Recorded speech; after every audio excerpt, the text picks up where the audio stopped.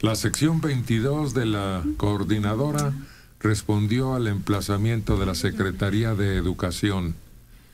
Acordó trasladar su protesta contra la reforma educativa otra vez en el Distrito Federal. El objetivo ahora es un boicot contra la evaluación educativa que llaman punitiva, imagínate nomás. ¿En qué cabeza de maestros cabe esa calificación cuando las únicas medidas necesarias en este momento son las que no permiten para salvar a la educación del caos en que se ha metido. ¿Y cuánto tiempo llevan ya los niños sin maestros y sin clases con las aulas cerradas? En este año han tenido sumados un mes de clases, en este. Pero fíjate eh, cómo cambia la leyenda, ¿no? La, se decía, es que es privatizadora. Bueno, no hay ningún elemento que permita suponer que es privatizadora, ahora cambian, es punitiva. ¿Por qué punitiva? Porque eh, pues, no le da los estímulos a quien no cumple las expectativas o, o el deber de superarse. Pues eso no es punitivo. Los oaxaqueños acordaron el traslado de 63 mil maestros a la capital del país, aunque no especifica si llegarán todos juntos hoy o en diferentes etapas durante los siguientes días. Está como los chistes de los chinos. Estaba un millón de chinos jugando tenis contra, contra otro millón de chinos. fútbol, fútbol. Entonces llega un chino más y pide, ¿me, dejan jugar? No, no, no, dicen, haz tu retadora. no regresarán a la mesa de negociación con la Secretaría de Gobernación hasta en tanto no concluya la reunión de su Dirección Política Nacional y de su Asamblea, donde se presentarán los posicionamientos Estado por Estado.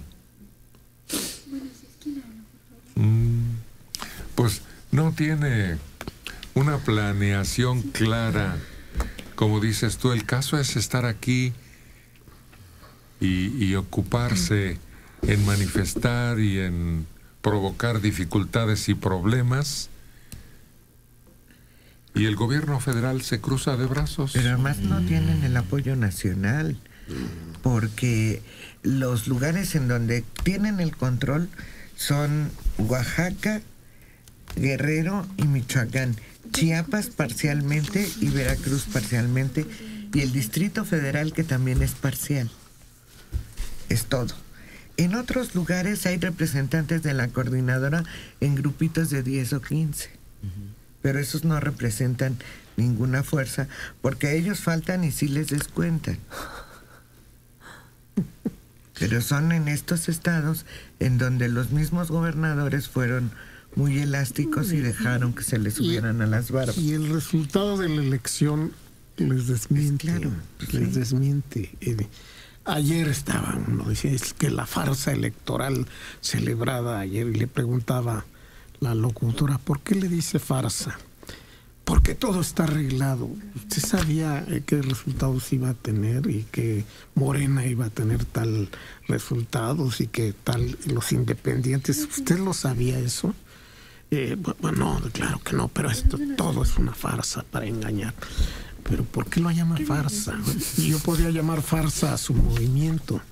No, es que es auténtico. Bueno, y la elección no fue auténtica. Entonces eh, son indefendibles los argumentos. Tienen que crear nuevos argumentos cada vez que reanudan la protesta.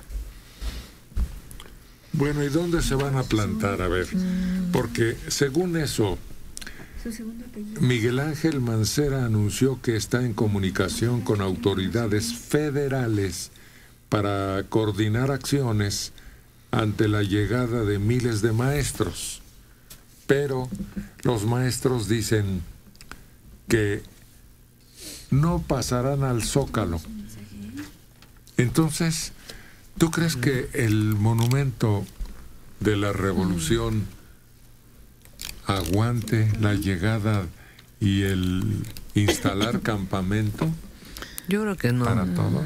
Los mismos comerciantes ya establecidos ahí solicitaron al jefe de gobierno que no lo permitiera porque su economía y sus ganancias se han visto terriblemente afectadas. Y, y, eso por no hablar de otros lugares que salen de la periferia del monumento, en donde prácticamente llegaron a asaltar, a robar y a comer. No, no creo que sea posible. Lo que sí creo es que, que se aprovechen estos 50 mil, 5 mil, 15 mil, 25 mil en estos momentos, porque si la evaluación va y el año lectivo está por terminar, bueno, pues que disfruten sus minutos de, de pantalla y de triunfo, porque si se aplica la ley, van a quedar fuera del sistema. Ojalá. Eso estamos esperando desde Ojalá. enero, Dora. Pues Este, en Oaxaca recuerda que no se pudo hacer el levantamiento El del censo. censo por parte del INEGI para poder saber cuántos maestros y en qué centros escolares laboran. No se pudo hacer. Se les eh, nosotros hicimos el anuncio de que ya no iban a cobrar a partir del primero de enero, según lo dijo el gobierno federal. claro, Se les ha seguido pagando. claro. Sí, sí. Ellos lo no sé si ahora les llega el cheque de la federación o lo siguen expidiendo en el estado, pero se les ha seguido pagando Yo creo que aquí no. indebidamente. Y lo que tampoco sé es si esos salarios que tiene Rubén Núñez, escuchen esto, maestro. Rubén Núñez superiores a los 100 mil pesos los siga recibiendo. ¿Anuales? No, mi reina, mensuales. Ah, Sí. mira. Oye, deja de ser, deja ser líder de la disidencia. Cien mil mensuales más las propinitas aquí, los centavitos acá, y profe o secretario, ayúdeme para el transporte y deme para el taco de mi gente. Mira qué bien. Muy buen negocio. Con razón lo mantienen activo. Con razón hacen peticiones absurdas, que aparezcan los muertos, que aparezcan los desaparecidos, que se reconstruyan aviones. No, todos lo piden. Con razón. Pero es que lo manejan como un negocio. Eso.